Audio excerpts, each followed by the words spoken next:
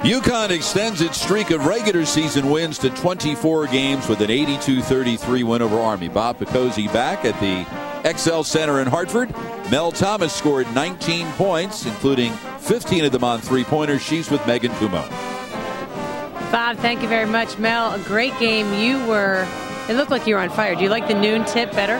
The new what? The noon tip. Oh yeah, I do actually. I do. Get it, gets it over with early in the day. You don't have to wait around. Yeah, we don't have to do all the crazy things CD makes us do all day before the game. we'll get into that later. Um, but you know, we were joking the other night. You were tied with Jen Rizzotti with three-point field goals for your career. Now, was it out of respect that you didn't hit any on Saturday night? You waited to hit five today? Um, I wish I could say that, but I didn't even know how many I needed.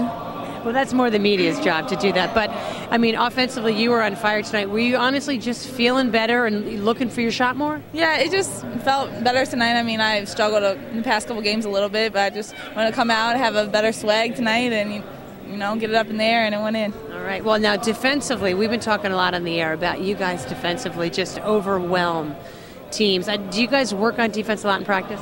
Uh, I think we put a lot. Of, he puts a lot of emphasis on it, and when we mess up on defense, it's you know a big problem. But I think when we come out and put pressure on teams, it's hard for them to respond to it. Well, I, even like let's say Saturday night, Hartford had seven points in the second half. Are you guys aware of that during the game? How overwhelming you guys are? Yeah, sometimes we'll try to be like keep them under 30, or we'll set a certain goal to try to keep the other team under. All right. Do you have any special? Uh, New Year's resolutions that you can share with us? Um, I'm going to try to eat less candy and chocolate and stuff like that. a little healthier. That's it. That's it. So it's not going to have as much fun in the new year then, huh? No. no. we'll see how long it lasts. Yeah. We'll check back in with you later. Okay. Good Happy luck. New Happy New Year, folks. Bob? All right, Meghan, thank you very much. It's the ninth time in 11 games this year that UConn has held their opponents under 50 points. Mel Thomas with 19 points, all in the first half, by the way.